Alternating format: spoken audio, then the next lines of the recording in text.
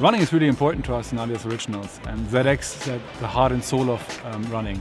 Ever since we started ZX and the ZX family back in the early 80s, um, it stood for progression and creative thinking. And we've seen many, many icons um, with, under the ZX umbrella um, throughout the years and the decades, really. We still knew we had to change. We want to adapt to the modern world. Consumers have moved on, and we want to reach more consumers with that unique design language that is ours. So we created ZX Flux.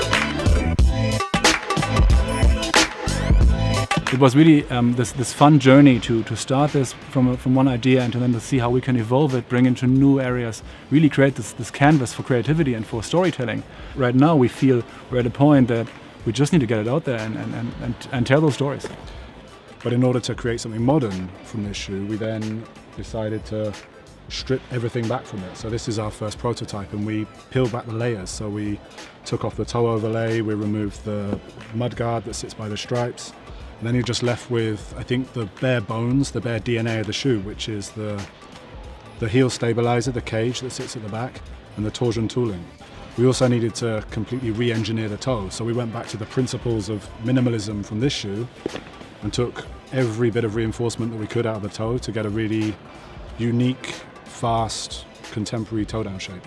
Everyone completely believes in. Everyone who picks it up feels just you just feel how right it is, yeah. how this needs to be on people's feet now. The idea has been 25 years in the making. It's a new chapter. It's it's a complete new look in the ZX family that's 100% with the DNA of everything that comes before it. It respects the past, but it takes us to a new place.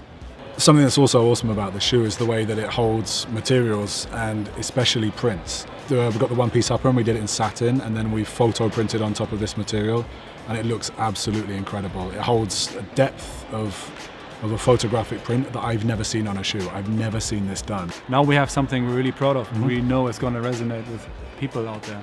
Um, it's new to the ZX family, but it's really true to its roots. We want to tell stories, uh, new stories, fresh stories to a new audience, and extend our consumer reach. And, and again, we want to do this in an authentic, incredible way, and it needs to link back to who we are as a brand. That's really important to us. So ZX gives us a, gives us a platform that, that allows for us to tell um, authentic, honest, new, real stories, which is great.